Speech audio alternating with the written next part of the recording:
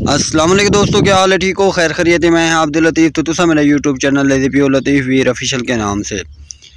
आज मैं आपको लीमू के बाग का आपको विज़िट करा रहा हूँ। पहले आपको विज़िट कराया था माल्टो के बाग का, अभी आपको लीमू के दरख्तों का विज़िट करा रहा हूँ। माशाल्लाह, बहुत ही अच्छा व्यू है। मुझे तो बहुत अच्छा लग रहा है, और आप भी देखें आपको कैसा लगा।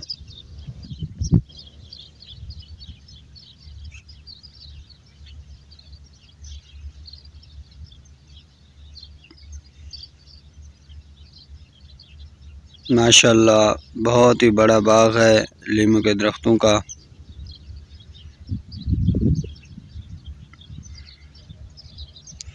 और ये साथ के ऊपर बूटी है, करेले की शक्ल में है। छोटे छोटे करेले होते हैं, मैं समझा ये करेले की सब्ज़ी लगी हुई है, लेकिन ये कुछ और है। तो और से आपको दिखा रहा हूँ, देखना। आप भी हैरान होंगे कि वाकई ये करेला होगा, लेकिन ये करेला नहीं है, ये दूसरी बोटी है। बिल्कुल करेले की शक्ल में है, लेकिन ये खाने के नहीं है, ये ज़्यादा कड़वी है। और भी दिखाता हूँ आपको।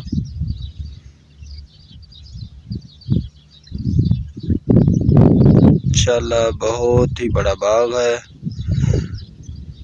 लीमू का और साथ में मकीना है। वो भी दिखाता हूँ, ये डीज़ल की टैंकी है। बहुत बड़ी टैंकी है डीज़ल की।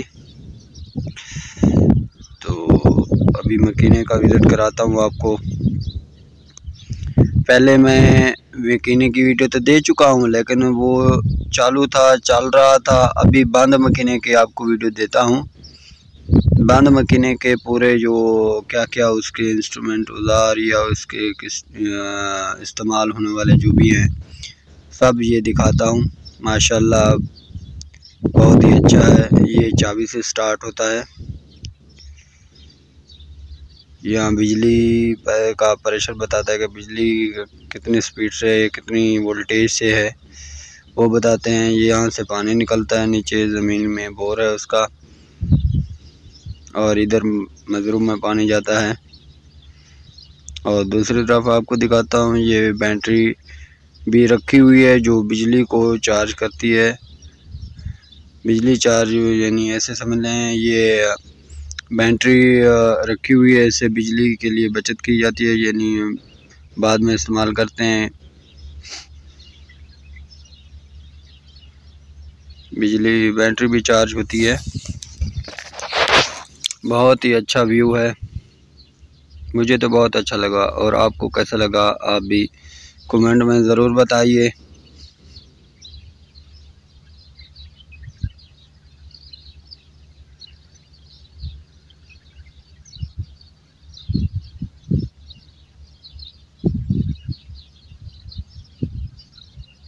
ये देखो कितना बड़ी टैंकी है, डीजल की है।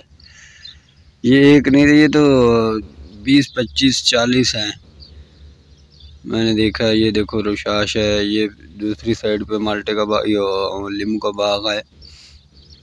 क्योंकि माल्टे और लीमू मिक्स हैं तो इसी साइड पे लीमू का दरख्त है। वीडियो का अख्ताम करते हैं।